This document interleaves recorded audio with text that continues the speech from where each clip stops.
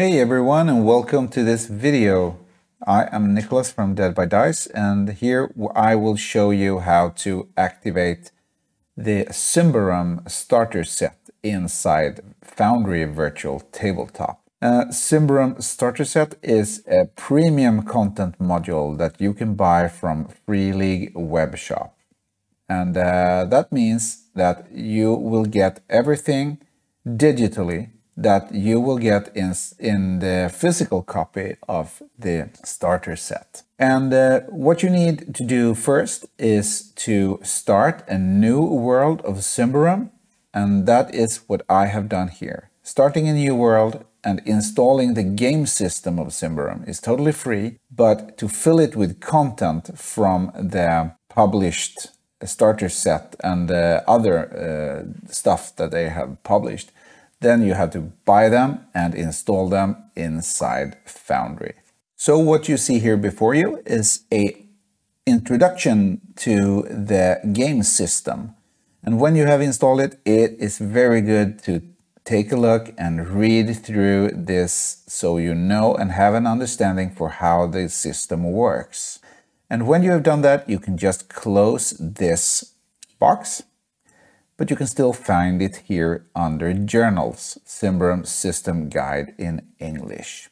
Now you have an empty world and you want to fill it with exciting stuff from the Symbaroum world. So what you have to do is then go to the um, settings and find manage modules. And as I said before, you have to have this premium content installed inside Foundry first to have to get this to work.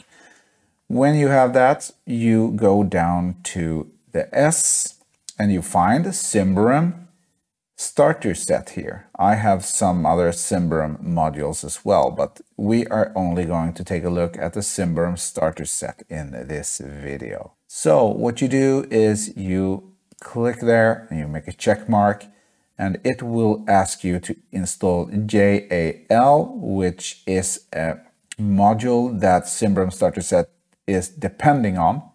And of course you want to do that, so you click yes also.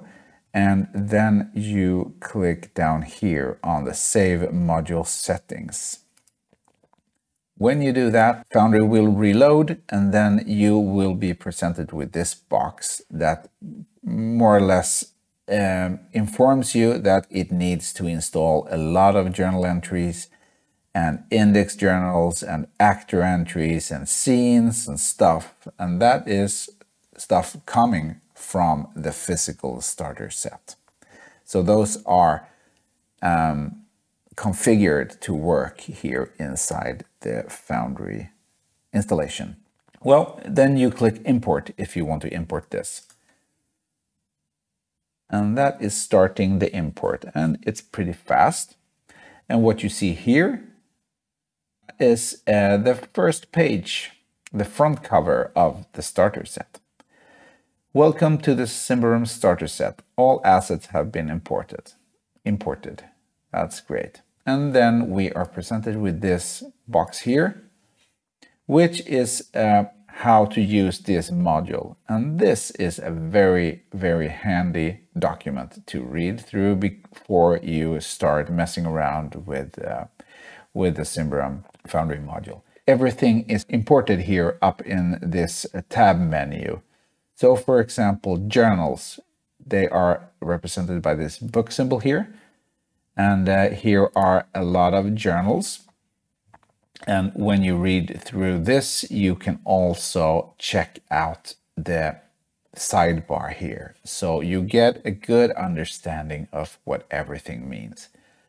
Actors, core rule actors folder has subfolders and adversaries, monsters, mystical powers and such.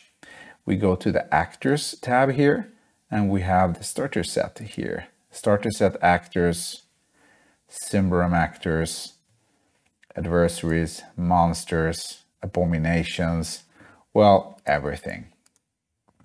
And the scenes that are explained here, they you find up here on the map symbol in the right sidebar. And you can see different scenes here that you can uh, put out on the table, the virtual table, to show your players. What do we have more? Items, abilities, alchemical elixirs, armor, boons, equipment, monstrous traits, powers, rituals, traits, and weapons. Those things are all inside this symbol that is a bag. And here you find those. Compendiums, you have compendiums up here. Sorry, here we have the compendiums. And those are practically like a folder with everything contained that is inside this module.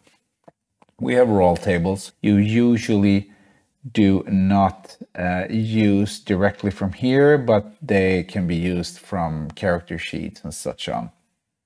The information is here. And then we have macros. And at the bottom, we have recommended add-on modules. And these are modules that are recommended for you to activate inside this game world together with the Symbaroum starter set when you play it because it will facilitate stuff and make it much more nice. Of course, you can activate a lot of other um, modules as well, but these are the ones recommended as, as a minimum. And then you have to, to just experiment and try out the rest of the modules, which ones you like. But these are what the developers recommend you to, to uh, activate. Well, if we just take a brief look on the different sections up here without spoiling anything for future games for you, we have under the scenes directory, we have two folders here. This is the starter set. Here we have scenes that will uh, load onto the big table here in the middle if you load them and then you have uh, adventure locations and I guess this is the GM map and the player map uh, the same map but uh, with a different uh, stuff on it I guess we have catacombs the tower of and the tower cellar I won't uh, go through them because they will probably spoil stuff um, we then have the GM aid here and in uh, the actor directory, we have all the player characters and the non-player characters. So we have pre-made characters.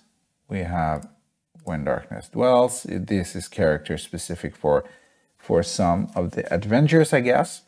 We have adversaries, monsters, mystical powers. And if we are to check out one character only, Let's check Flaro here, Flaming Servant. This character has a portrait, not everyone has. You can put in your own portraits in, in your characters. Here you have the main character sheet with different attributes, toughness, corruption, combat. You have gear in here. You have the bio, for this pre-made character and you have notes you can you can you can put in notes here and um, then you can when you roll you roll on these attributes for example for cunning.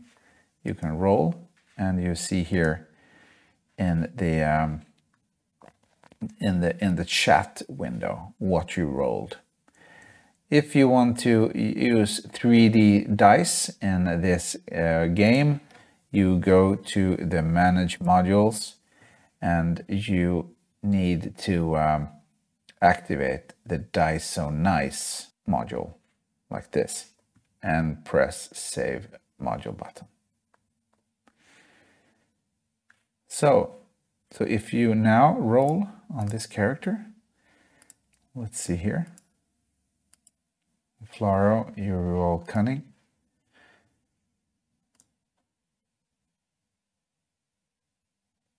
You see that it rolls a 3D dice on the table for all characters or players to see. To read the rule book or rules and text and such, you need to go to the um, journals section.